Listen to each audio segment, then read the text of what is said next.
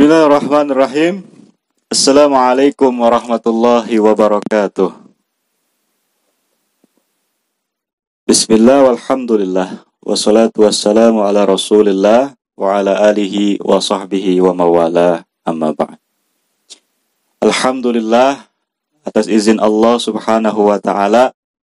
Alhamdulillah kita masih diperkenankan untuk kembali berkumpul di studio Maksyar TV dalam keadaan sehat walafiat. Salawat beserta salam semoga selama-lamanya tercurah limpah kepada Nabi kita tercinta Sayyiduna Muhammad sallallahu alaihi wasallam. Alhamdulillah pada malam ini kita bisa kembali lagi melanjutkan kajian-kajian sangat-sangat menarik. Alhamdulillah masih bersama guru kami di sini Abi Maulana Nur Al-Bantani. Malam ini kita akan coba membahas sebuah kajian yang akan kita mengulas riwayat hidup, riwayat perjalanan perjuangan seorang Pituin Sunda yang mana beliau ini merupakan salah satu Perdana Menteri Republik Indonesia yang berasal dari suku Sunda. Ialah Insinyur Haji Juanda Kartawijaya. Pada malam ini kita akan coba bahas seputar tentang beliau. Sebelum saya serahkan kepada Abi untuk menjelaskan secara terperinci, saya akan coba sampaikan terlebih dahulu pendahuluan yang akan nanti dilengkapi oleh Abi. Namun Alhamdulillah pada malam hari ini saya tidak sendiri, kembali saya ditemani oleh saudara-saudara saya di sini. Alhamdulillah pada malam hari ini kita kedatangan saudara-saudara dari kota Bandung, ya ini dari bumi kami, eh, Griyatama Parahyangan. Alhamdulillah di sini ada langsung direktur utamanya, yaitu Bapak Hendra Arya Wiraraja. Alhamdulillah. Kemudian ada Kang Abo, ada yang lainnya juga. Ada sini ada Kang Gilang, Kang Iman, ini Kang Doni. Alhamdulillah. Di sana juga tidak tertinggal yang sudah tidak asing lagi Bapak Yudi Hendrik selaku ketua tiga kop kami dan bilang. Alhamdulillah kita semua di sini bisa berkumpul untuk sama-sama kita mendengarkan penjelasan penting dari guru kita. Namun di sini akan saya coba bacakan terlebih dahulu pendahuluan tentang Insinyur Haji Juanda Kartawijaya. Sahabat Maksar TV, di mana pun antum semua berada, di sini saya akan coba bacakan pendahuluan, yang mana Insinyur Haji Raden Juanda Kartawijaya adalah merupakan Sunda Putra atau merupakan putra Sunda asli Sunda yang lahir dari kota Tasikmalaya. Nah, beliau dilahirkan di Tasikmalaya pada hari Sabtu 14 Januari 1911 Masehi. Data resmi yang kami dapat, kalau tidak salah, di sini beliau merupakan putra dari pasangan eh, Bapak Raden Kartawijaya, yang mana beliau masih keturunan Kesultanan Cirebon, yang mana beliau merupakan anak sulung dari pasangan Raden Kartawijaya dan Ibu Nyimonat. Jadi bapak beliau adalah Raden Kartawijaya yang berasal dari Kesultanan Cirebon dan ibundanya adalah Nyimonat. Yang mana ayahanda beliau ini, Bapak Raden Kartawijaya, adalah seorang mantri guru di Hollands Inlah School, Ikhlan School, atau HIS, High High S, atau setingkat SD kalau saat ini atau ibtidaiyah, madrasah ibtidaiyah. Sesudah tamat dari ITB, Insinyur Juanda menikah dengan Zulia Firsia, gadis keturunan Belanda yang aktif sebagai guru TK, putri dari Raden Warga Dibrata, seorang mantri guru. Nah, kemudian di sini kita akan coba bacakan pendidikan beliau Insinyur Haji Juanda ini mengawali pendidikannya di KIS dan pindah ke sekolah untuk orang Eropa yaitu Europis Lecher School ILS di Cicalengka. Beliau tamat pada tahun 1924. Kemudian beliau melanjutkan sekolah ke Huger Bucher School de Bandung atau HBS. Dan beliau tamat HBS pada tahun 1929. Kemudian selanjutnya beliau bersekolah ke teknis Huger, teknis Huger School de, de Bandung. T Bandung, THS atau yang saat ini sering dikenal dengan sebutan ITB atau Institut Teknologi Bandung, jurusan Teknik Sipil. Dan beliau tamat dari ITB tahun 1933. Karena kesukaannya pada bahasa, maka beliau fasih menggunakan bahasa Belanda, Inggris, Jerman, Prancis. Kemampuan berbahasa asing yang dimiliki Juanda dipuji oleh Bung Karno dan Haji Agus Salim yang juga jago bahasa asing. Itu tadi seputar pendidikan beliau. Kemudian di sini beliau juga aktif berorganisasi. Sedikit kita merangkum di sini. Di masa mudanya, Bapak Haji Juanda ini aktif dalam organisasi Paguyuban Pasundan dan anggota Muhammadiyah. Beliau juga pernah menjadi pimpinan sekolah Muhammadiyah dan menjadi guru di SMA Muhammadiyah Jakarta. Konon kabarnya, Haji Juanda diangkat menjadi guru di SMA Al-Khamene Al-Khamene Middle School dan sekolah guru Quick School yang dikelola Muhammadiyah berkat perantaraan Otto Iskandar Dinata. Selain menjadi guru, Haji Juanda juga aktif sebagai anggota Dewan Daerah Jakarta atau Volksrat. Mungkin sekarang itu DPRD kali ya. Dan Indonesia Student Vereniging atau perkumpulan mahasiswa-mahasiswa Indonesia. Jadi dari segi pendidikan dia merupakan orang terpelajar, lulusan sekolah tingkat tinggi, kemudian dari segi pergaulan organisasinya luar biasa. Beliau banyak sekali berkecimpung dalam berbagai macam organisasi. Nah, oleh karena itu, untuk lebih jelasnya lagi akan dijelaskan oleh guru kami, Abi oleh karena itu, waktu dan tempatnya kami persilahkan kepada Abi untuk menjelaskan kepada kami semua. Abi kami persilahkan. Bismillahirrahmanirrahim. Assalamualaikum warahmatullahi wabarakatuh. Alhamdulillahi rabbil alamin. Wassalatu wassalamu ala asrafil anbiya'i wal mursalin wa ala alihi wa ashabihi ajmain. Ashadu an la ilaha illallah wahdahu la sharika lah. wa ashadu anna Muhammadan abduhu wa rasuluhu la nabiya ba'dah. Allahumma salli ala Sayyidina Muhammadin wa ala alihi wa ashabihi ajmain. Amma abad. Syukur Alhamdulillah pada malam hari ini kita bersama-sama dapat hadir kembali di studio Maksyar TV untuk melakukan pembahasan tentang seorang tokoh yang mempunyai peran besar di dalam pembangunan, di dalam pengembangan negara kesatuan Republik Indonesia. Beliau adalah tokoh dari tanah Sunda yang namanya diabadikan di berbagai macam tempat. Salah satunya di Bandung itu ada daerah di atas Dago apa namanya itu? Ada kebun raya Juanda apa namanya? Hah? Di Bandung. Taman.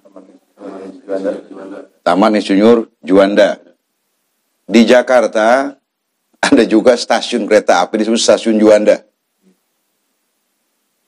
Di Jawa Timur, di Sidoarjo, ada lapangan udara Juanda juga namanya. Bahkan nggak tahu sekarang ya. Dulu bendungan Waduk Jatiluhur itu disebutnya juga bendungan Juanda. Yang di Purwakarta itu. Udah diganti belum sekarang ya? Ya. Nama ini semua berkait dengan apa yang beliau dia beliau lakukan sepanjang hidupnya. Jadi melegenda orang ini. Kalau nggak ada urusannya, ngapain dia pakai nama dia? Lapangan udara, taman di Bandung, stasiun kereta api di dekat itu tuh. Di Jakarta Pusat, ya.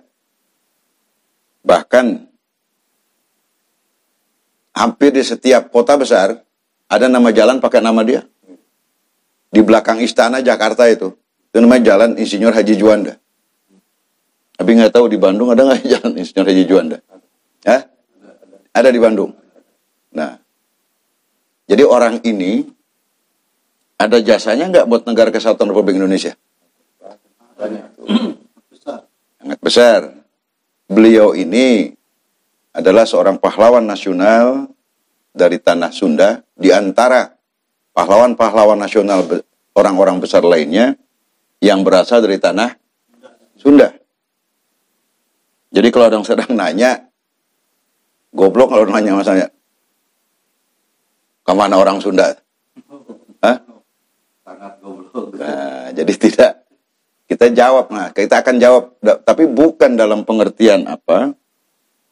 Ini yang yang kadang-kadang justru orang Sunda sendiri nanya gitu. Ya. Nah, kita akan mulai mulai malam ini ya. Ada beberapa tokoh-tokoh besar bangsa Indonesia yang berasal dari tanah Sunda akan kita bahas satu persatu. Nanti di samping ada Insinyur Juanda, kita juga akan bahas peranan Kusuma Atmaja. Kita juga akan bahas peranan Umar Wirahadi Kusuma. Kita juga akan bahas peranan Ali Sadikin. Ya, orang Sunda bukan tuh. Nah, ini persoalan bukan bukan kita sedang rasialis, tidak. Cuma kita ingin tunjukkan khususnya kepada para Sunda putra atau kepada Siliwangi putra karena dia kalau dia bertanya, ada orang sudah berarti dia nggak ngerti sejarah bangsanya. Bahkan kita pernah bahas di forum ini juga mengenai sumbangsih negara Pasundan kepada negara kesatuan Republik Indonesia. Nih. Jadi ngerti ya, kenapa kita bahas orang ini? Ini bu, walaupun dia orang Sunda, tadi sudah milik bangsa Indonesia. Nih. Tadi Abang sudah jelaskan data dasarnya. Beliau adalah kalau istilah kita nonya Sunda Pituin. Kelahiran kota Tasik. Ya. Jadi pada tahun berapa tuh dia lahir? 1911. Ya. Tanggal berapa? Jadi dia lahir 14 Januari tahun 1911. Jadi beda umurnya 10 tahun dari Bung Karno dan 10 tahun lebih tua dari Pak Harto. Ya. Di tengah-tengah nih. Ya. Jadi beliau ini anaknya Pak Kartawijaya. Pak Kartawijaya ini masih ada kaitan keturunan dari Kesultanan Cirebon. Jadi Ino Honglen benar. Makanya namanya pakai Raden. Ya. Jadi Raden Raden Haji. Ya. Jadi Raden Haji itu Haji Raden, Raden Haji lah. Tadi sudah dijelaskan sekolahnya di mana saja. Jadi bapaknya ini Pak Kartawijaya ini kalau sekarang ini mungkin penilik gitu ya. Jadi mantri guru yang dalam kegiatan tugasnya beliau dipindahkan dari Tasik ke Bandung. Nah, ke daerah Cicalengka. Cicalengka itu Bandung Timur. Bandung Timur. Jadi kalau gitu sudah ada Cicalengka belum di zaman kolonial itu? Sudah ada. Dan sudah ada sekolah Belanda di sana. Ya. Itu sebelumnya lagi tuh udah daerah-daerah apa itu situ tuh? Ada kerajaannya tuh di dekat situ tuh. Apa? Kendan apa Kandan tuh? Kendan. Nah, Kendan ini itu tempat asal muasalnya Reti Kandayun yang nantinya menjadi pendiri kerajaan Galuh. Wallahu alam. Tahun berapanya itu. Tapi yang jelas Reti Kandayun teh membuat Galuh itu abad ke-8 Masehi. Seumuran. Beda tipis dengan kehadiran Nabi Muhammad itu. Nabi Muhammad abad ke berapa? Jadi sudah zaman Hulapa Urosidin kali ya. Ya lebih kurang itu loh. Nih. Jadi sudah ada kehidupan dalam pengertian ketatanegaraan, kebudayaan, peradaban di wilayah Bandung Timur. Ya. Kenapa Abi menyebut itu? Karena salah satu tempat pendidikannya Insinyur Juanda ini adalah di Cicalengka. Jadi Juanda kecil itu pernah sekolah di daerah Cicalengka. Ini, Abi kira banyak orang nggak tahu ini. Jadi sebelum dia ke ITB, ya, dia pernah melalui pendidikan dasarnya itu di daerah Cicalengka. Kenapa orang orang tanya kenapa dia sekolah di situ? Karena bapaknya ditugasin di situ. Jadi mantri, mantri guru. Mungkin kalau mantri guru sekarang ini apa ya penilik kali itu ya. Nih. Tadi abang sudah singgung bahwa kalau ditanya bininya orang mana, pamajikannya di mana. Nah istrinya Juanda ini, ya, ini lucu ini. Jadi bininya itu keturunan jadi peranakan apa ya? Indo. Ya Indo. Ju, namanya Julia Virsia. Atau biasa orang nyebutnya Fresi. Nah ini lucu di sini. Kenapa bilang lucu? Yang jadi yang jadi Indonya itu jadi bininya atau istrinya atau ibu Juanda ini itu yang yang menjadi yang yang nurunin ininya yang jadi Belanda itu maknya bapaknya orang sini. Ya. Jadi bapaknya itu bapak Raden warga di Brata. Nah itu mitohana. Nah pak warga di Brata ini juga menteri menteri guru. Nah sekitar daerah itulah tinggalnya itu nih jadi kalau gitu istrinya Juanda teh keturunan keturunan Belanda. Tapi kalau kita lihat pakai tradisi Islam, tetap aja keturunan Indonesia orang orang bapaknya yang orang sini. Kecuali kecuali yang orang yang yang orang sini maknya. Tuh, ya. Jadi tetap saja ini Raden warga di Berata. Pendidikannya tadi sudah kita dengar, dia sama dengan Bung Karno. Jurusan teknik sipil. Bung Karno lulus tahun berapa itu? 22 atau berapa? Bung Karno. Bung Karno 20 tahun.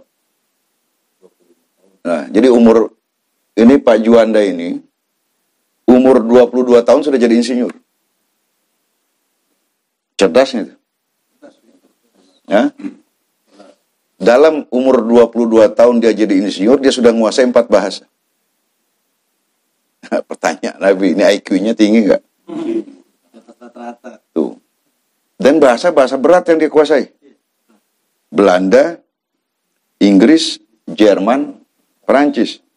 Waktu itu dia nggak sempat belajar bahasa Arab ini.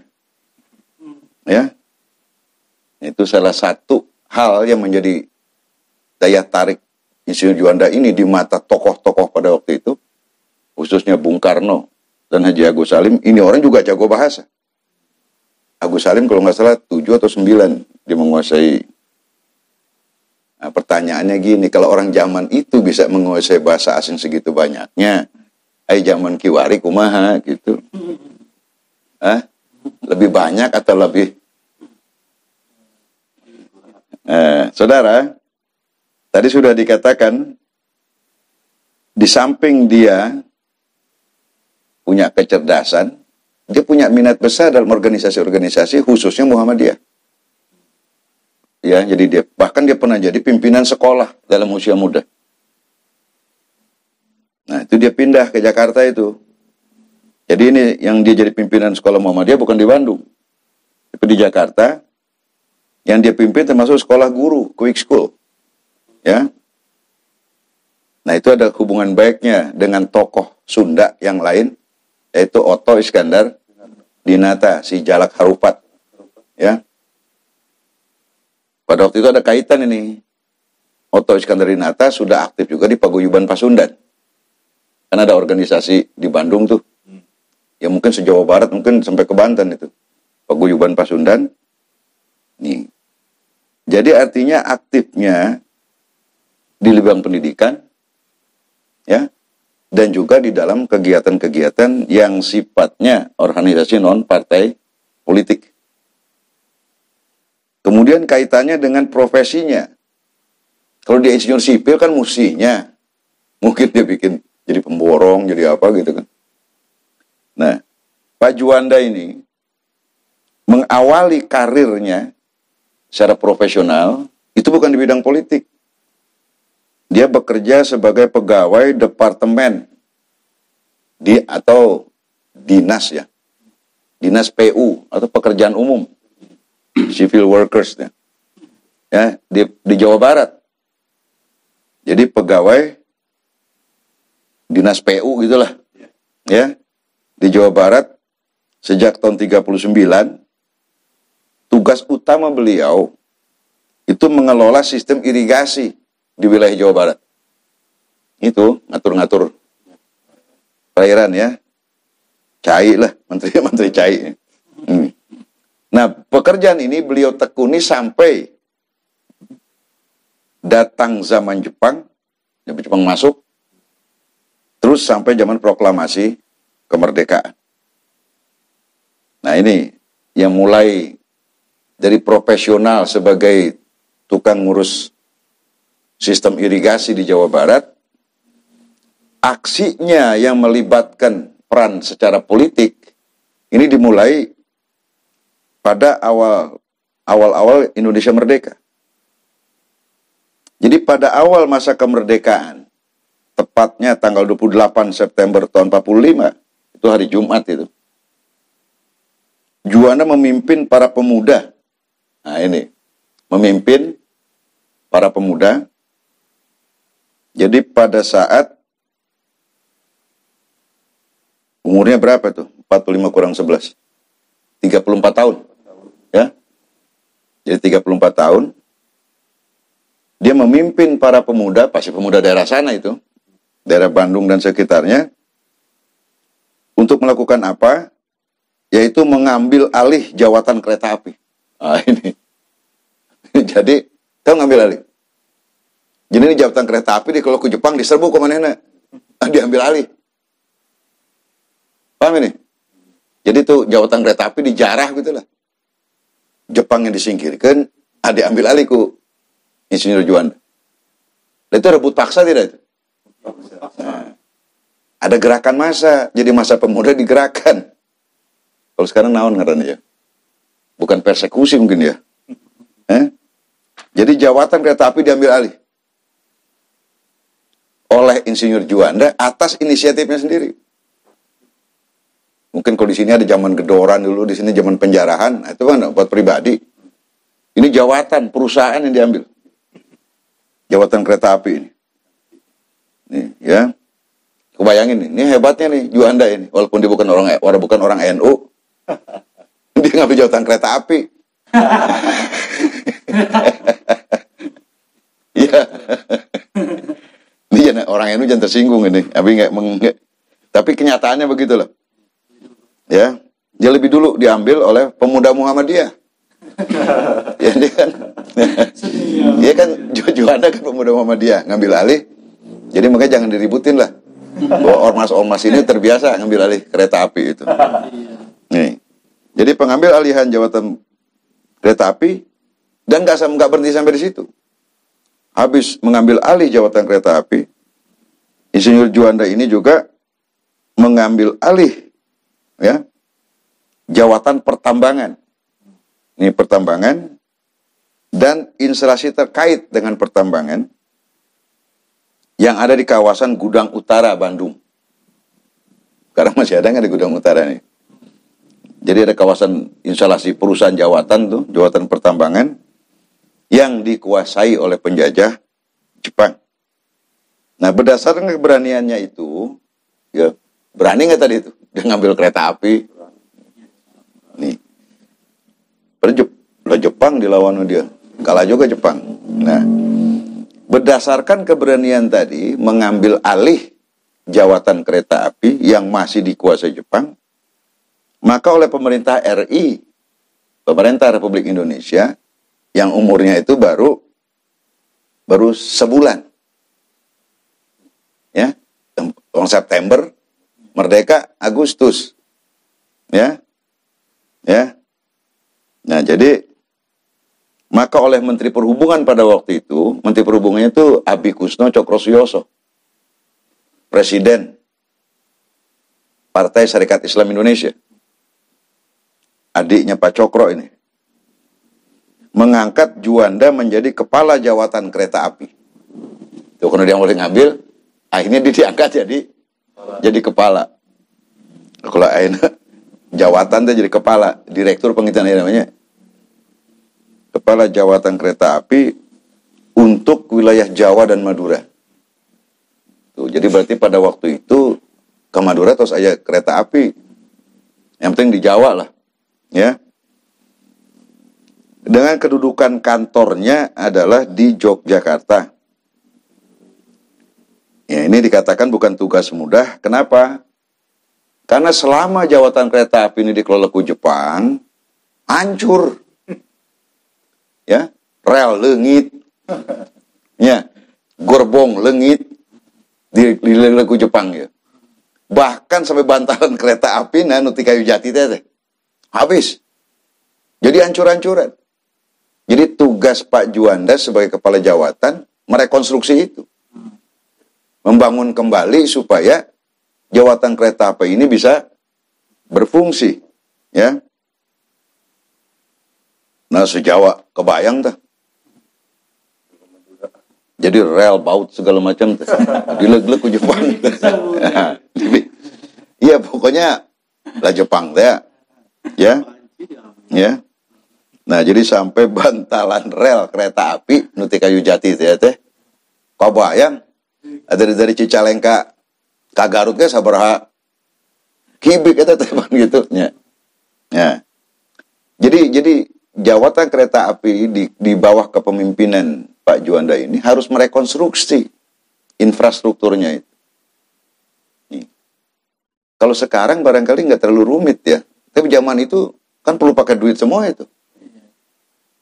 Nah sekarang karena itu rusak, gimana orang bisa naik kereta api?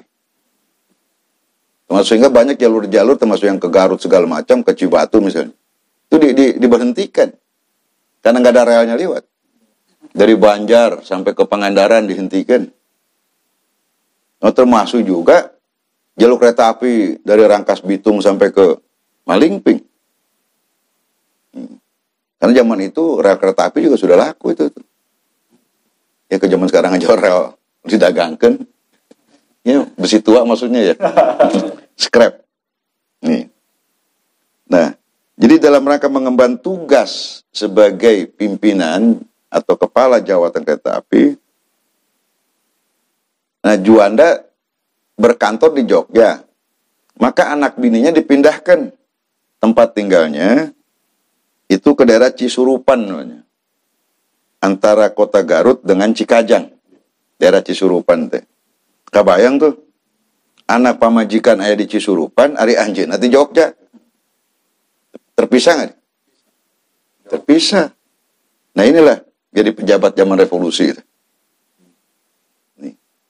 menderita nggak dia sama keluarganya? Di satu pihak dia jadi kepala jawatan, ada pemajikan tekengnya. Nah, kenapa dia berkantor di Jogja? Karena pemerintahan pusat pelan-pelan pindah ke Jogja. Nih, ternyata karena tadi karena cerdas berhasil dia dia rekonstruksi itu kereta api. Ya. Nah, berdasarkan kemampuannya itu, maka pada tanggal 11 Maret, nih nanti kita cek lagi benar apa enggak ini tanggalnya ini. Tapi yang jelas pada bulan Maret tahun 46, ya, Insinyur Juanda diangkat menjadi Menteri Muda Perhubungan. Nah, di sini kalau sudah jabatan menteri itu jabatan politik bukan? Ya. Menjadi Menteri Muda Perhubungan merangkap kepala jawatan kereta api pos dan telegraf, pelayaran laut, dan perhubungan udara. Tuh. Jadi hari tadi, hari tos ribu, hari ngurusin kereta api, akhirnya ngurusin kapal laut, ngurusin kapal udara, itunya. Nih, kabayang teh, milari Aceh nanti mana jamaah hari itu. Jadi inilah yang melandasi pembangunan sektor per perhubungan Indonesia itu tidak bisa dilepaskan dari nama Juanda.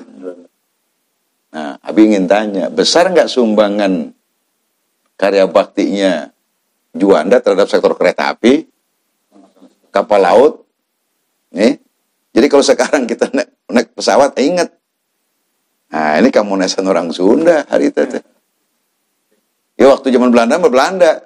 Ini kan habis, habis di, dileg ke Jepang. Ya. Tuh.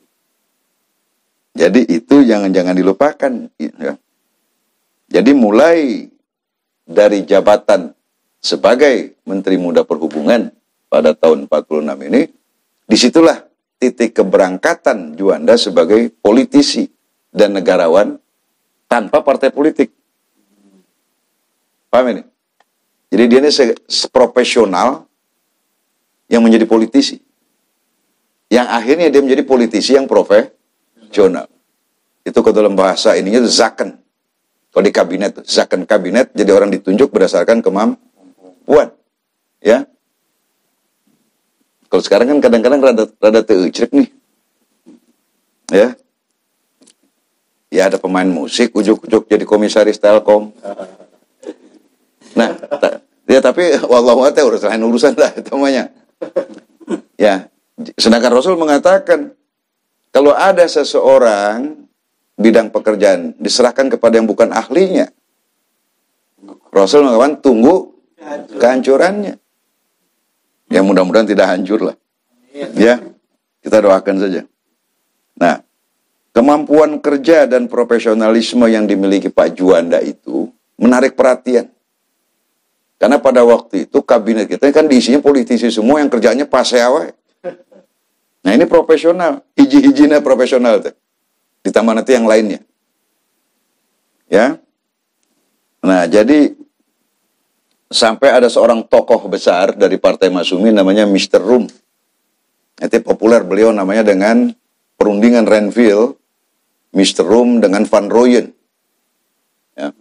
Ini perundingan tidak di daratan ini, di atas kapal.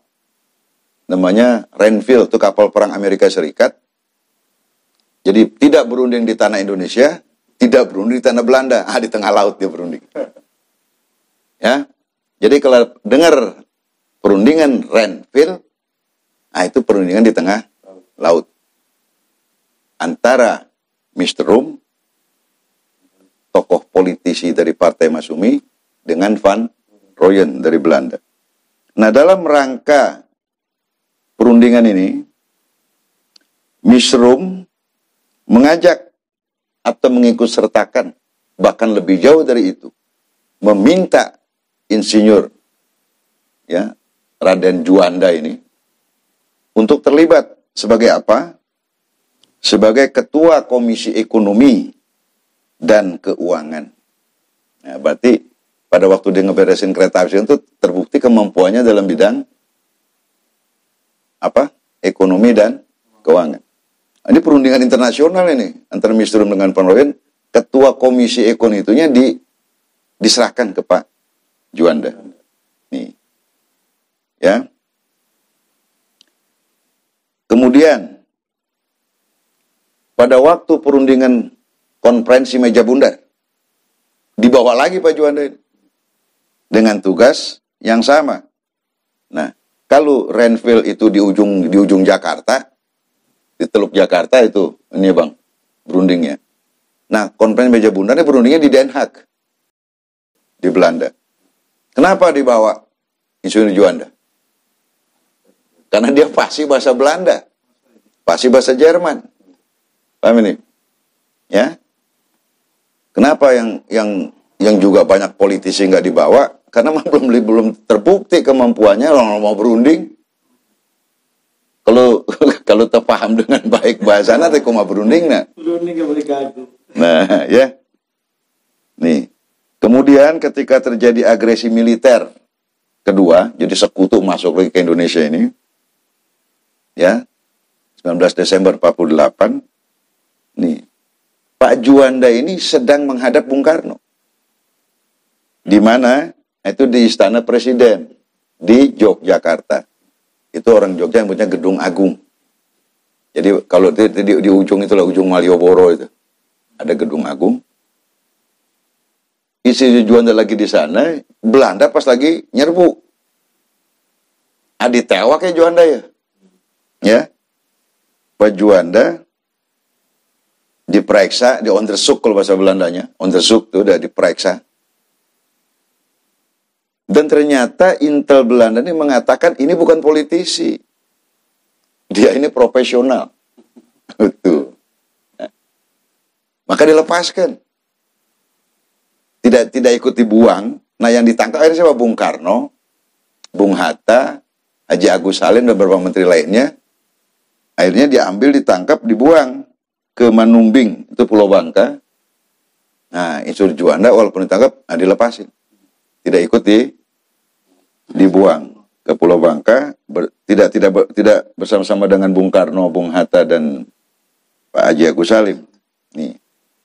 Nah rupanya Belanda ini melepaskan Pak Juanda punya maksud lain. Maka dia maksudnya apa? Supaya Insinyur Juanda ini mau bergabung ke negara Pasundan. Yang pada waktu itu ya sedang dipersiapkan pendiriannya oleh Raden Haji Ahmad Wiranata Kusuma. Paham nih? Lu bergabung aja deh. Ini kan orang pintar diperlukan oleh Belanda ini. Ya. Nolak Pak Juanda. Bang. Gak mau. Akhirnya tuh diteror sama Belanda. Diledakin granat di rumahnya. Ter jadi Belanda teroris. Ya. Tetap tidak mau Juanda. Tetap dia ada Republikan tempat dia mengabdinya. Jadi pada waktu itu sedang ramai bekas Bupati Garut mau menjadi presiden negara Pasundan. Karta Legawa itu teh. Masih apa? Masih ingat tuh? Kang Karta, ya. Bikin negara Pasundan. Nah, akhirnya bertahan Pak Juanda ini tidak mau bergabung ke dalam negara Republik apa namanya negara Pasundan yang bikinan Panmuk ya ya. Walaupun dia di diteror kalau kita kira-kira air rumah air rumah di balai dogan kadang lagi ini kamu di granat. Ya. Terus lanjutannya nggak nggak berhenti sampai di situ. Ketika pemerintahan RIS berdiri Republik Indonesia Serikat masih ingat ya? Ya itu kan awalnya itu RIS itu 49 sudah mulai Republik Indonesia Serikat, maka ada negara Pasundan, negara Madura, negara apa namanya? Negara Borneo itu kan. Nah, RIS ya, negara Republik Indonesia Serikat Insinyur Juanda diangkat menjadi Menteri Perekonomian. Yang jadi Perdana Menterinya waktu itu Muhammad Hatta. Perdana Menteri RIS, presidennya siapa? Presidennya Bung Karno. Presiden itu Bung Karno, Perdana Menterinya Muhammad Hatta. Dengan tugas utama merekonstruksi perekonomian rakyat. Tuh, jadi jadi yang tadinya rekonstruksi kereta api, ya kan lebih luas tugasnya. Ngurusin beras di mana gitu kan. Orang ngajian pada melangku maha. Jadi merekonstruksi perekonomian rakyat termasuk urusan kesejahteraan rakyat. itu awal-awal RIS, menterinya siapa yang ditugaskan itu? Ya, Insinyur Juanda. Nih. Jadi tugas ngurusin ekonomi rakyat penting nggak itu buat negara? Hah? Yang ditugaskan siapa itu? Juanda. Insinyur Juanda. Nah yang lainnya, yang orang politik nggak ngurusin ini. Jadi kelihatannya Pak Juanda ini yang berat-berat itu nih, Ya. Nih. Jadi termasuk urusan kesehatan rakyat. Kemudian pada waktu Pak Natsir menjadi Perdana Menteri, tahun 50, masih ingat itu? Ya. Mosi integral. Ya. Pak Juanda ini diangkat menjadi Menteri Perhubungan lagi. Jadi dikembalikan kepada waktu awal dia menjadi menteri. Dan diangkat kembali pada jabatan yang sama sebagai Menteri Perhubungan pada waktu kabinet ganti lagi. Ini kabi- kabinet nggak pernah sampai lima tahun. Setahun ganti. Jadi ini jatuh bangun ini kabinet.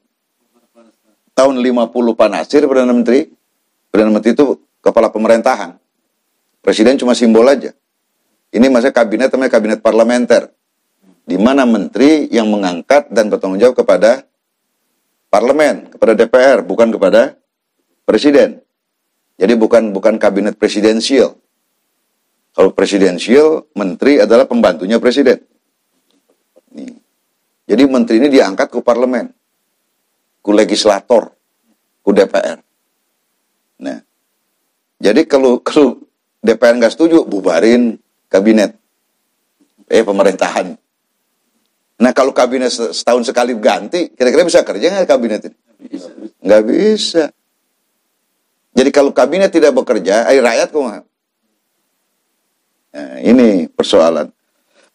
Jadi pada tahun 50 pada waktu Pak Natsir menjadi Perdana Menteri, Pak Juanda diminta jadi Menteri Perhubungan, terus Pak Natsir diganti oleh Pak Sukiman dan Pak Suwiryo pada tahun 51, ya, sama diminta jadi Menteri Perhubungan, dan pada waktu Pak Wilopo menjadi Perdana Menteri, nah sama diminta juga jadi Menteri Perhubungan.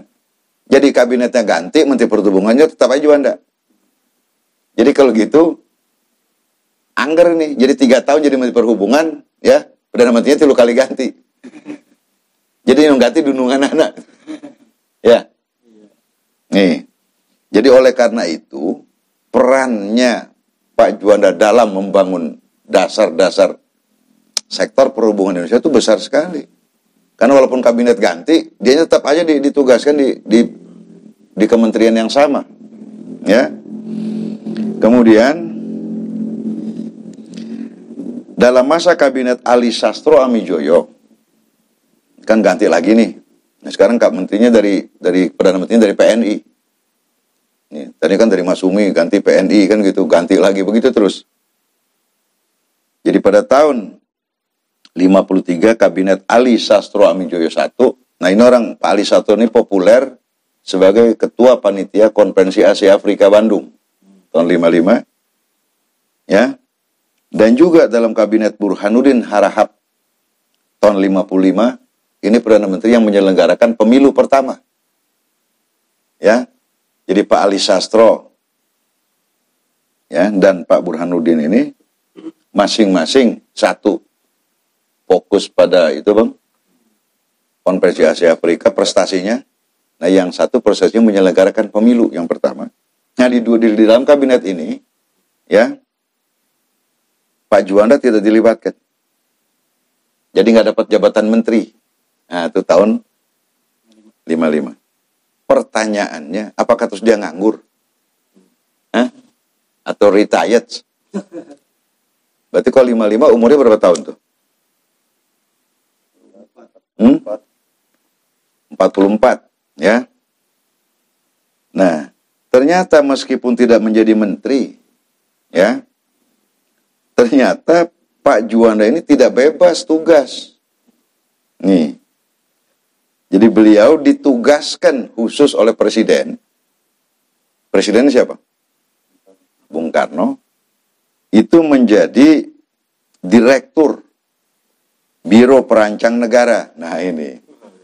Jadi dia bukan jabatan menteri, tapi tugasnya ya perancang negara setingkat menteri? Nih. Nah, Biro Perancang Negara inilah yang kemudian berubah namanya menjadi Bapenas. Badan Perenca, apa, Perancang Pembangunan Nasional. Badan Perencanaan Pembangunan Nasional itu Bapenas. Jadi cikal bakalnya adalah Biro Perancang Negara. Enggak pakai nama perencanaan, perancang. Nih, nih istilah. Walaupun isinya perencanaan.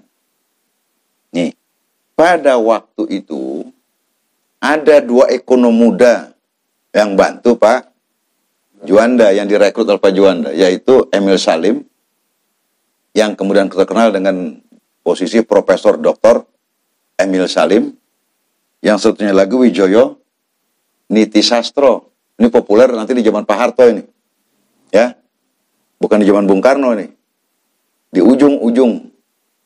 Ya. Jadi Emil Salim, Wijoyo Niti Sastro. Nah, ini yang kemudian populer yang disebut mafia Berkeley. Nih. Siapa yang ngirim Emil Salim, Sastro dan teman-temannya ke Amerika? Itu Pak Juanda yang ngirim. Nanti Bang. Maksudnya apa? Supaya bisa menyusun perencanaan pembangunan nasional. Nah, pada zaman Pak Juanda, ini karyanya belum kepake. Nah, maka orang ini nanti karya-karyanya itu dipakai menjadi repelita di zaman Pak Harto. Profesor Emil Salim, kemudian ada Profesor Sadli, Wijoniti Sastro, uh, Sumarlin, nah itu tuh rombongan. Nah yang memberangkatkan Pak Juanda. Maksud Abi, kalau gitu besar nggak peran Pak Juanda dalam perencanaan nasional? Tuh. Jadi tadi perhubungan, kereta api, ya, perekonomian rakyat. Nah ini tambah satu keuangan, ya dua lima ini. Saya perencana nasional juga dia juga. Yang apa nungawitan. Apa? Eh, mimitian gitu Hah? nih. Jadi inisiatif Neymar Pak Juanda semua. Sekarang masih pada ada nggak itu? Bapres masih ada. Berarti peninggalan siapa? Peninggalan Juanda.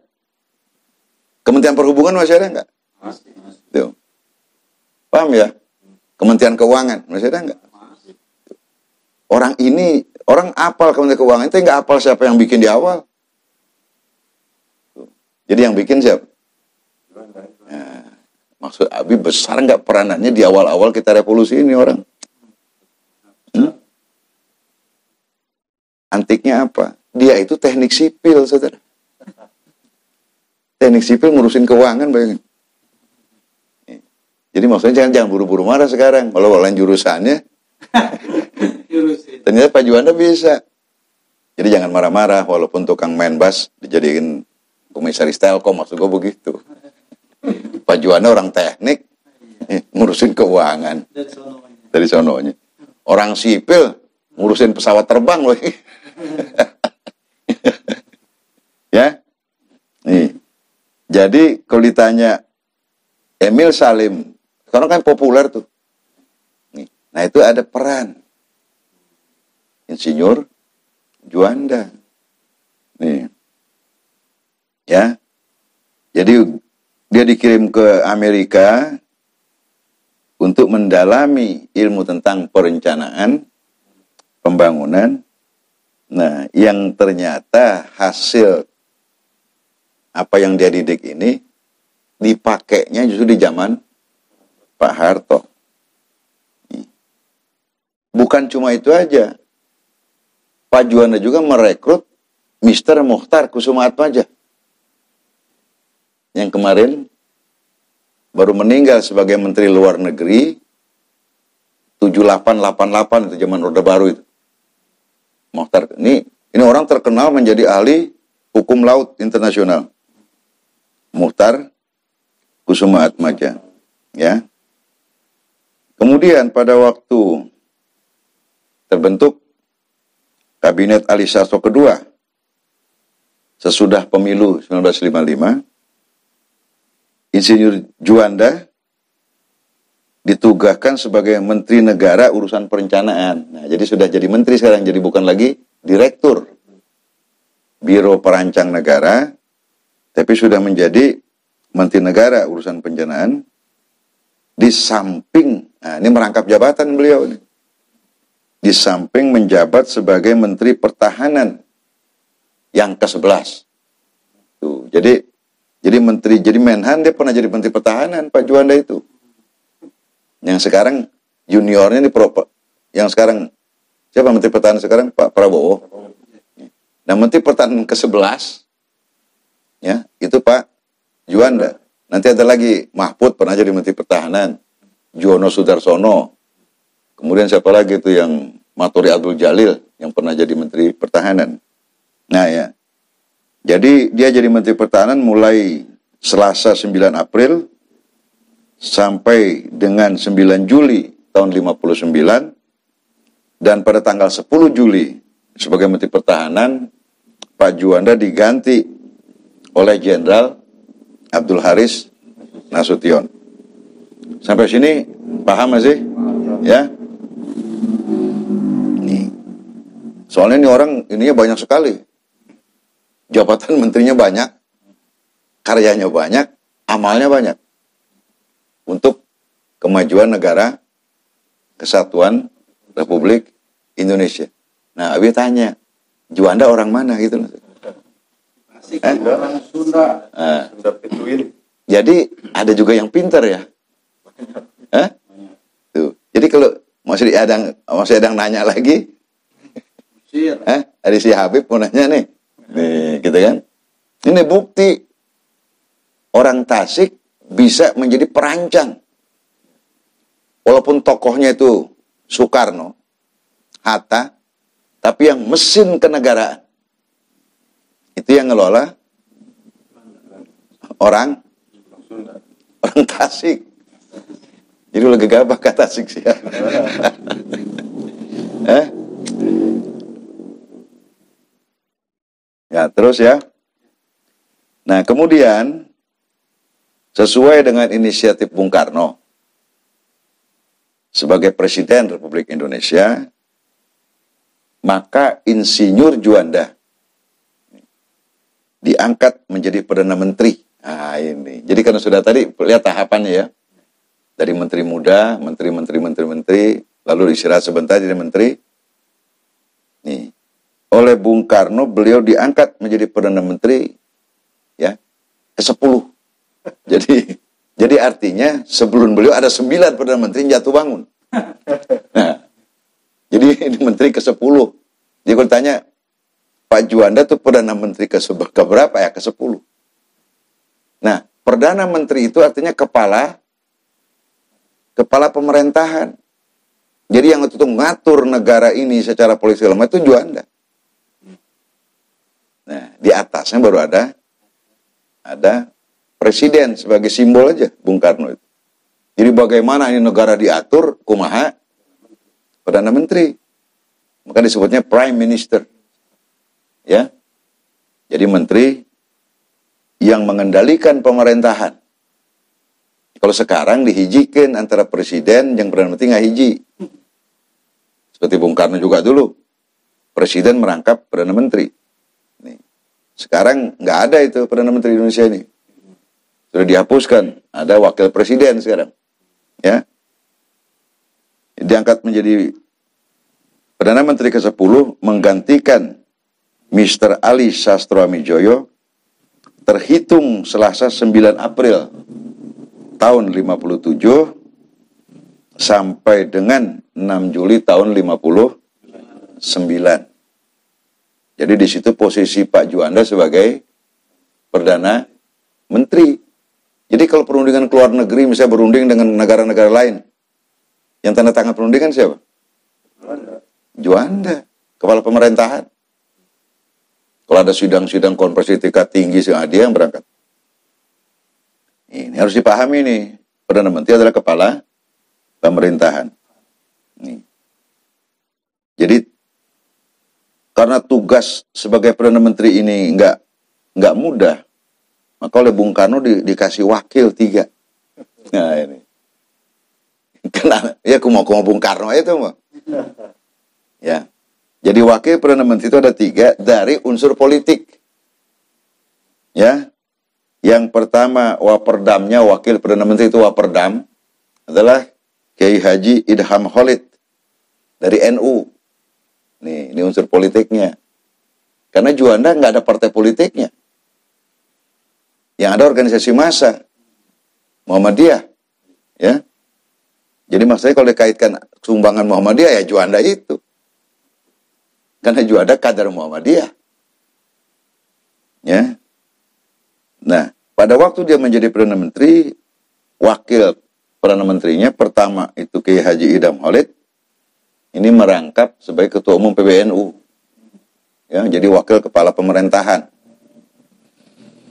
Kemudian Dr. Leimena, Jo, Jo Leimena. Ini dari Parkindo, Partai Kristen Indonesia. Kemudian Mr. Hardy, dari apa? PNI, Partai Partai Nasional. Ya, jadi ada NU, Parkindo, PNI. Nah, ini wakil Perdana Menteri. Nih. Kemudian sesuai, sesuai dengan dinamika politik yang ada. Ya. Kemudian Bung, Har Bung Karno menghapus, Bang. Udah nggak perlu ada Perdana Menteri lah. Dihapus. Lah Bung Karno, saya mau ngelarang dia. Udah, nggak usah pakai Perdana Menteri sekarang. Hapus saja. Nah, kenapa dihapus, Bang? Hanya jadi Perdana Menterinya Bung Karno-nya. Nih. Jadi merangkap presiden, merangkap Perdana Menteri. Perdana Menteri. Nah, lalu gimana Juanda ini? Nah, dia dikasih jabatan baru, Bang. Jadi apa? Menteri pertama. Jadi menteri pertama itu, kalau kita ini menteri utama lah gitu ya. Yang derajatnya lebih tinggi dari menteri pada umumnya. Ya. Bisa dikatakan menteri pertama ini adalah menteri pelaksana dari Perdana Menteri. Nih, pertanyaannya, kok yang ditunjuk Juanda lagi, Juanda lagi? Apa nggak ada orang lain? Ya, Perdana Menterinya dihapus, dicopotin Perdana Menteri teh. Ya, diganti. Bukan Perdana Menteri, jadi Menteri pertama. Orangnya tetap kene. Ya ribet-ribet, eh nggak udah nggak usah dibubarkan aja Perdana Menterinya itu. Ya teh maunya Bung Karno begitu. ya. Nah, jadi menteri pertama yang diangkat sebagai pengganti Perdana Menteri sama orangnya. Yaitu adalah Insinyur Juanda. Jadi mulai bertugas sejak 9 Juli 59 sampai dengan tanggal 7 November tahun 63. Nih, bersamaan dengan itu, Insinyur Juanda juga merangkap jabatan sebagai Menteri Keuangan. Tuh, jadi jabatannya itu sebagai Menteri Per- Perdana Menteri diganti, diangkat lagi dia. Nanti, Indra. Jadi Menteri pertama. Nah, pada waktu dia menjabat Menteri pertama ini, dia juga diangkat sebagai Menteri Menteri Keuangan. Ya, Jumat 10 Juli 59 sampai dengan 6 Maret tahun 62. Dia waktu itu Menteri Keuangan yang diganti oleh Pak Juanda adalah Pak Sutikno Slamet. Nah, selanjutnya per 7 Maret 62 posisi Pak Juanda sebagai Menteri Keuangan diganti oleh Raden Mas Noto Hamid Projo. Sampai di sini, kalau nggak ada yang mau ditanyakan, Abi terus. Hah?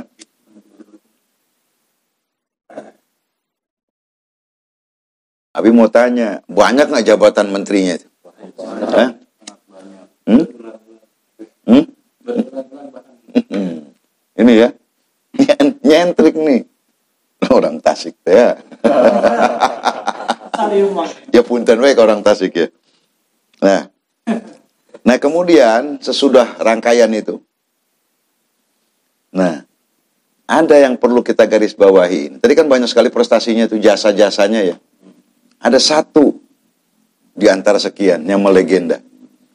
Satu di antara sekian banyak jasa Insinyur Juanda yang barangkali kita bisa mengatakan lebih utama dari jasa-jasanya yang lain adalah menyatukan wilayah lautan Indonesia.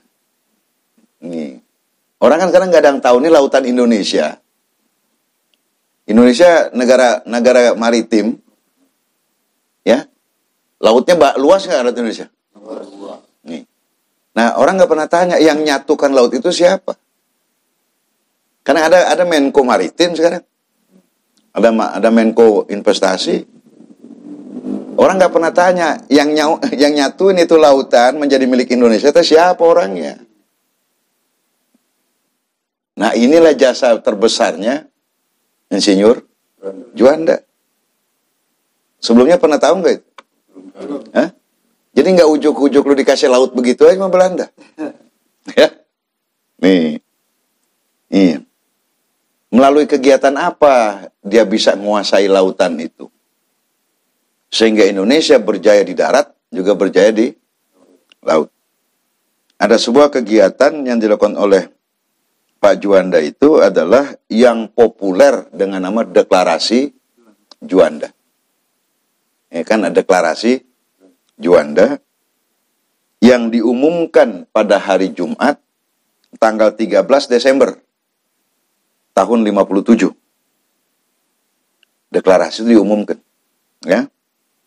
Yang isinya satu bahwa Indonesia menyatakan sebagai negara kepulauan yang mempunyai corak tersendiri.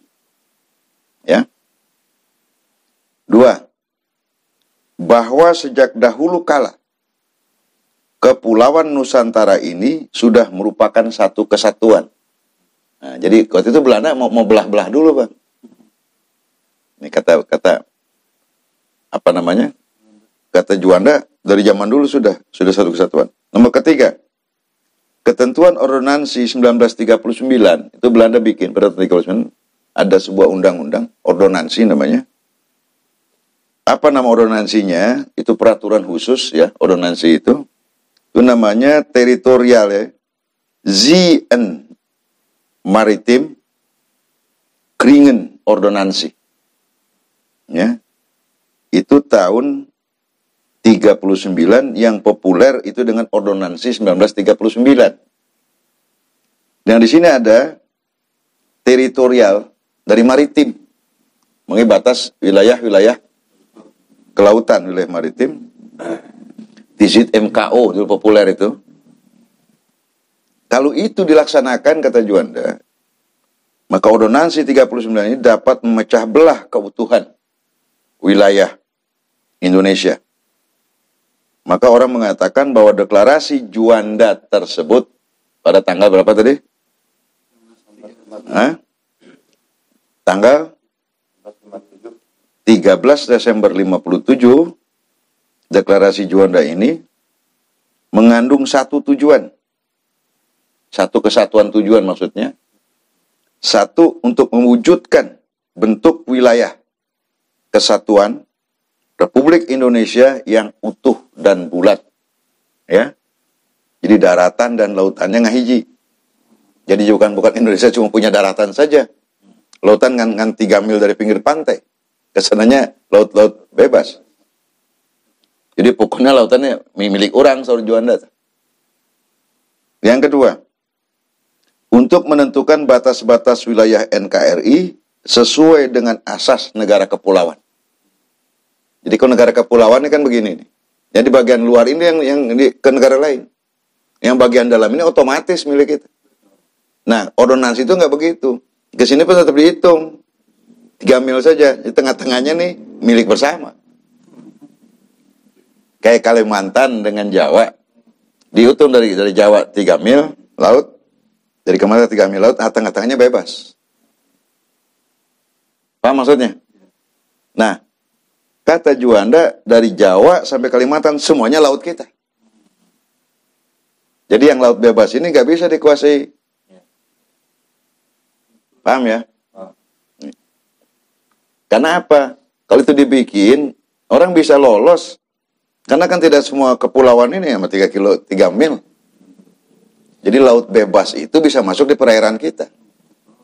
Ya. Yang ketiga, untuk mengatur lalu lintas damai pelayaran yang lebih menjamin keamanan dan keselamatan NKRI. Kalau tadi kita cuma tiga mil saja dari pinggir, kira-kira kapal kapal perang musuh boleh masuk nggak di perairan kita? Hah? Boleh. Nelayan asing nyolong laut, jadi bukan lagi di laut luar, ya, di, di, di, di, di laut kita. Nih. Jadi dengan disatukannya, pokoknya dari Jawa apa Kalimantan laut gue. Masuk ke, ah, ini belah ikannya ikan kita. Paham ini? Nah, yang kita udah bikin gitu masih dicolong juga ikan kita. Apalagi tidak ada batasan. Ya. Alhasil melalui deklarasi Juanda itu, Insinyur Juanda menyatakan kepada negara luar, nah ini kepada negara lain, bahwa segala perairan di sekitar, jadi sekitar bagian dalam dan luar. Kita kan karena cerita pulau terluar sekarang ini, ya. Di antara dan yang menghubungkan pulau-pulau yang termasuk dalam daratan Republik Indonesia. Tuh, jadi menurutnya Bang, laut itu menghubungkan antara daratan yang satu dengan daratan yang lain. Jadi Juanda tidak mengatakan bahwa laut, laut adalah pemisah. Laut itu adalah yang menyatukan Pulau Jawa sama Kalimantan. Cerdas saja. Sementara Belanda mengatakan ini laut misahkan. Misalkan Pulau Jawa yang Pulau Kalimantan. Kata Juanda bilang tidak. Laut itu ng- ngahijikan, menyatukan. Hmm. Nah itu yang Belanda nggak pernah kepikiran. Baru kali ini ada gue dengar laut menyatukan. Biasanya laut misahkan. Nah ini. Paham tidak ini? Kecerdasannya Pak Juanda itu. Ya. Jadi di antara dan yang menghubungkan pulau-pulau yang termasuk dalam daratan Republik Indonesia. Ya, dengan tidak memandang luas atau lebarnya adalah bagian yang wajar dari wilayah daratan negara Republik Indonesia. Dan dengan demikian merupakan bagian dari perairan pedalaman ini maksudnya dal itunya dal dalamnya laut ini kedalamannya berapa ya atau perairan nasional yang berada di bawah kedaulatan negara kesatuan Republik Indonesia. Jadi nggak boleh kapal asing masuk wilayah ini. Ini wilayah kedaulatan NKRI. Paham itu? Gara-gara dikatakan laut itu adalah yang menyatukan antar pulau itu. Ini dasarnya tadi bahwa Indonesia negara kepulauan. Nih, itu namanya konsep maritim gaya Juanda. Nih. Deklarasi ini disetujui nggak oleh negara tetangga? Yang pertama protes Amerika. Nih, Deklarasi ini, ya deklarasi Juanda ini itu diprotes oleh Amerika, Amerika Serikat ya, Inggris, Australia, Belanda, Perancis, dan Selandia Baru. Bahkan pada waktu itu, Amerika tuh ngirim armada ketujuhnya menggempur Indonesia. Kata Juanda, orang perang di laut. Ah, keluar asli Sunda tuh. Mau ar- baru armada ketujuh tenan naon, sok. Nah itu. Ini makanya deklarasi ya. Kalau sampai Amerika ikut campur menolak karena banyak kepentingan Amerika terganggu dengan dinyatakannya ini wilayah perairan Indonesia. Dia nggak boleh lewat kalau Indonesia nggak izinkan. Ya kan? Cerdas tidak? Hmm. Dia terpaksa muter orang mau lewat ya. Hmm. Kalau tidak kerjasama sama Indonesia. Tuh. Nah, tapi ada negara yang juga mendukung. Salah satu di antaranya adalah Filipina. Karena Filipina juga mengikuti cara kita bikin aturan. Terus ada lagi Ekuador, negara di Amerika Latin, dan negara Yugoslavia yang sekarang udah udah belah ini negara ini. Ya, itu mendukung, memberikan dukungan. Selanjutnya isi deklarasi Juanda tersebut, nih, tadi kan baru deklarasi nih. Nah, Kata Juanda, ini nggak kuat.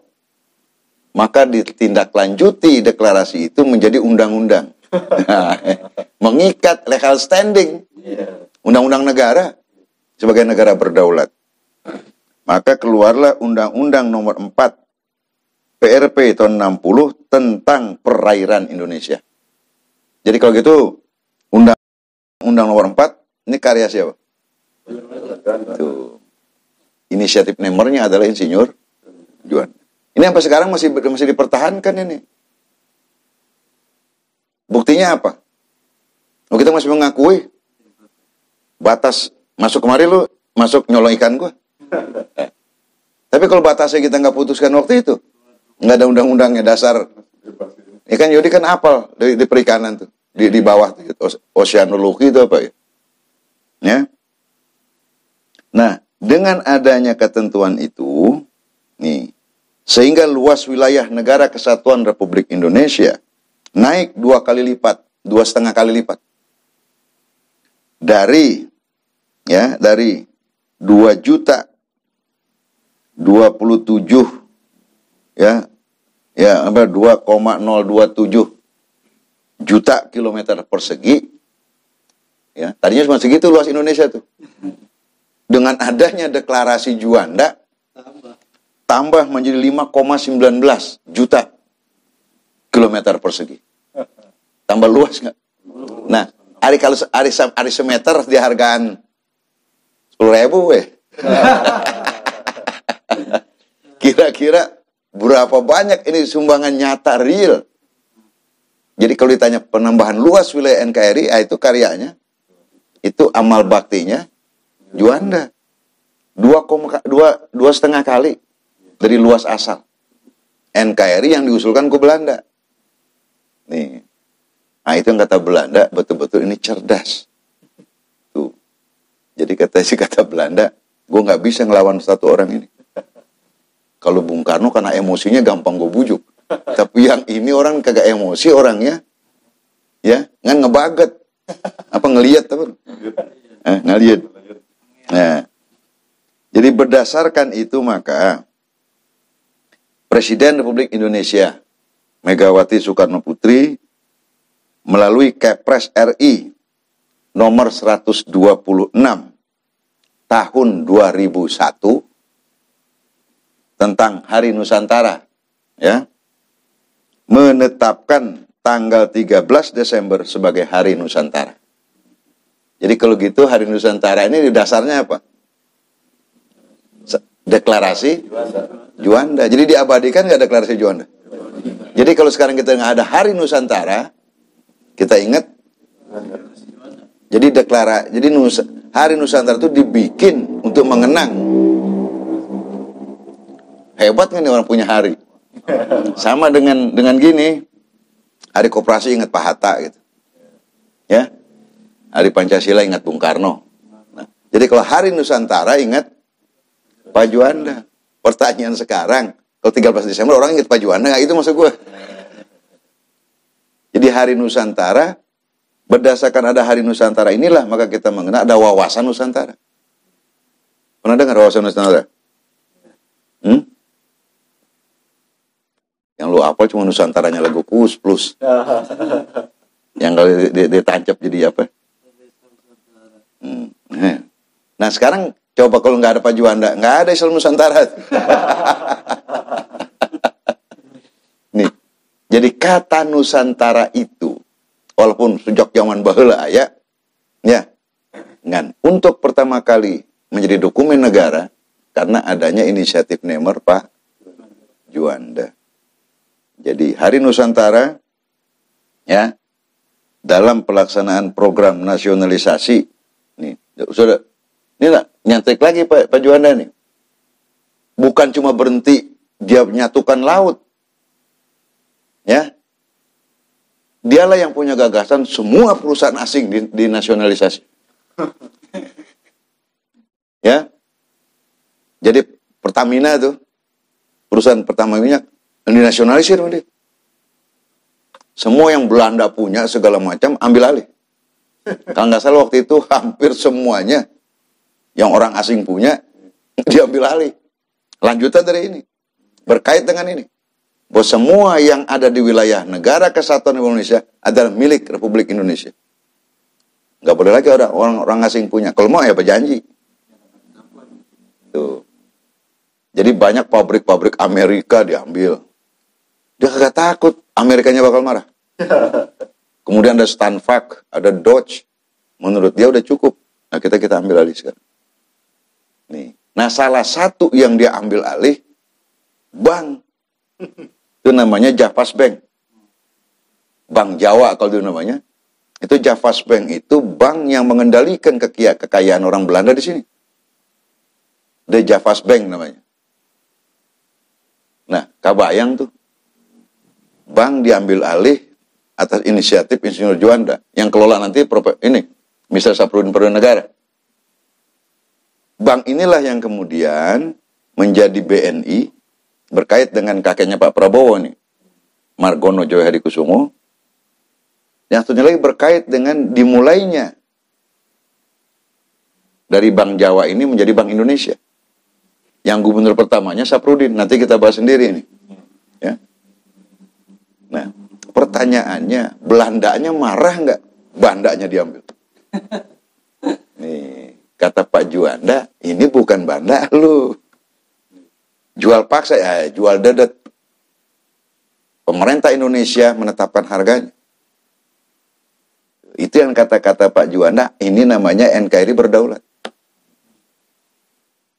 Walaupun itu Bank Jawa itu, The Javas Bank itu ada di tanah Jawa. Nah, dia bilang tanah Jawa ini bagian tak terpisahkan dari teritorial NKRI. Tuh. Maka gue yang mau beli masih bagus gue bayar loh. Daripada gue sita aja. Tuh. Paham tidak? Nih. Nah, yang berani ngambil alih siapa? Yang lain gak ada yang berani. Pak, Pak Juanda ngambil. Yang lain ma- maju mundur, ada kagak. Jagrek putus ambil ambil aja udah selesai.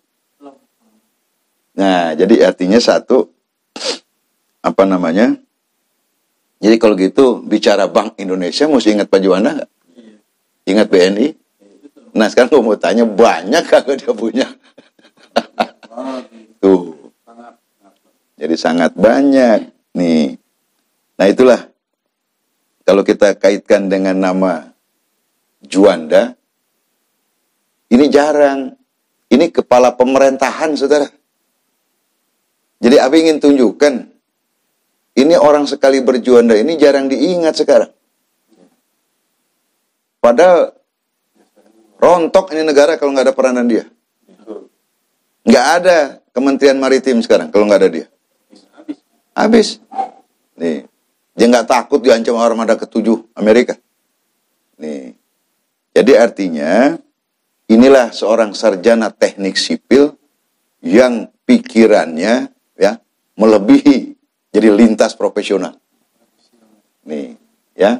Nah, ini maksud Abi. Dan ini ternyata dicelik-celiki ternyata lahirnya di Tasik. Jadi jadi bukan orang Belanda.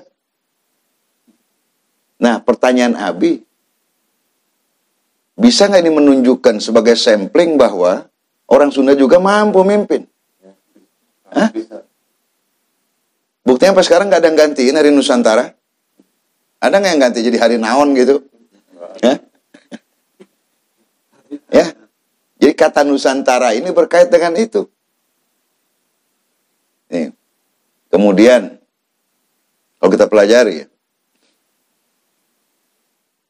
di antara seluruh, kalau kita bicara Perdana Menteri, di antara 10 Perdana Menteri itu yang paling lama dia.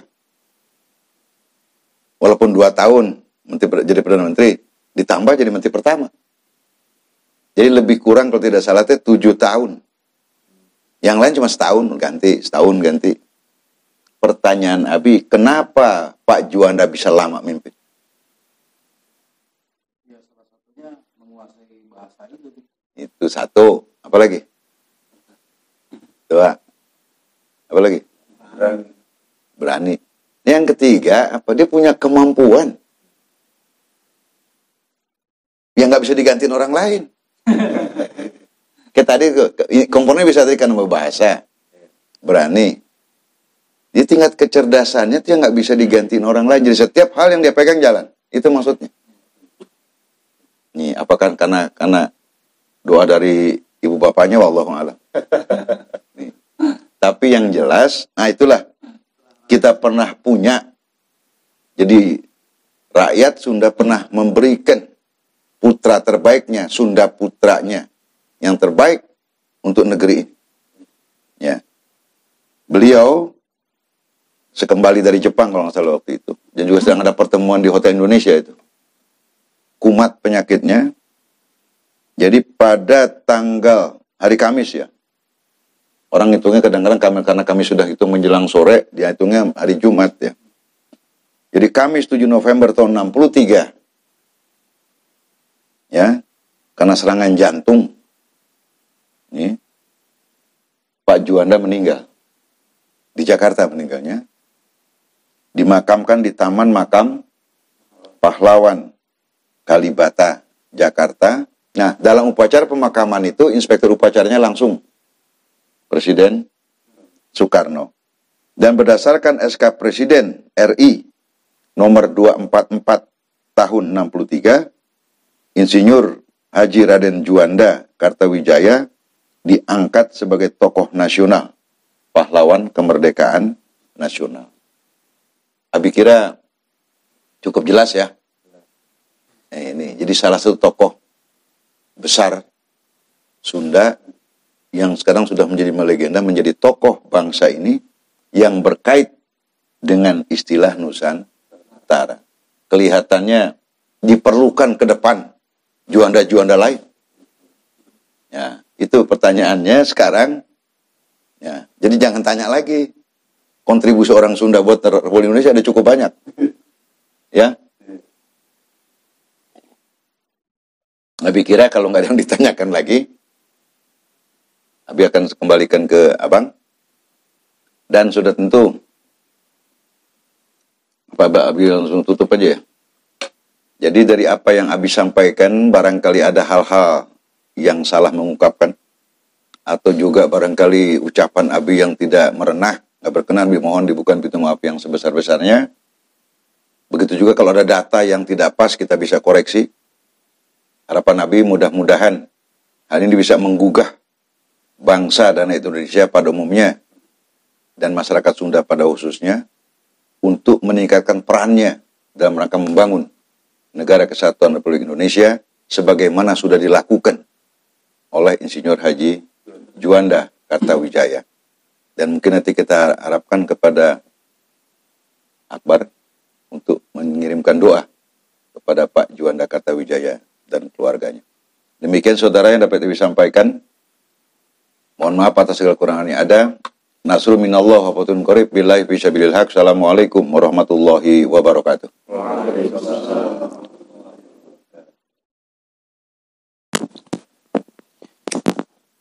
Alhamdulillah, terima kasih banyak atas penjelasan yang sudah Abi berikan sungguh luar biasa memberikan semangat baru untuk kami semua. Oleh karena itu mari sama-sama kita akhiri pertemuan ini dengan sama-sama kita doakan Pak Juanda semoga Allah memberikan tempat yang mulia di sisinya dan seluruh keluarganya diberikan manfaat hasil karya perjuangan Pak Juanda ini dan seluruh leluhurnya pun diberikan kemuliaan di sisi Allah SWT. Sayyidillahillahumul fatihah. Bismillahirrahmanirrahim. Alhamdulillahi rabbil alamin arrahmanir rahim. إياك نعبد وإياك نستعين اهدنا الصراط المستقيم صراط الذين أنعمت عليهم Alhamdulillah Sebelum saya tutup Sekali lagi saya ucapkan terima kasih banyak kepada seluruh sahabat Maksar TV yang sampai saat ini terus mendukung Maksar TV. Oleh karena itu jangan lupa terus subscribe channel Maksar TV ini dengan terus mendukung dengan cara subscribe, tonton videonya dan jangan lupa komen komentar Anda di bawahnya. Oleh karena itu, mari sama-sama kita tutup dengan kifaratul majlis dan wal asri bersama-sama. Bismillahirrahmanirrahim. Wal asri innal insana lafi khusr illa alladhina amanu wa 'amilus solihati wa tawassaw bil haqqi wa tawassaw. Subhanakallahumma wa bihamdika asyhadu an la ilaha illa anta astaghfiruka wa atubu. Billahi fisabil haq. Assalamualaikum warahmatullahi wabarakatuh.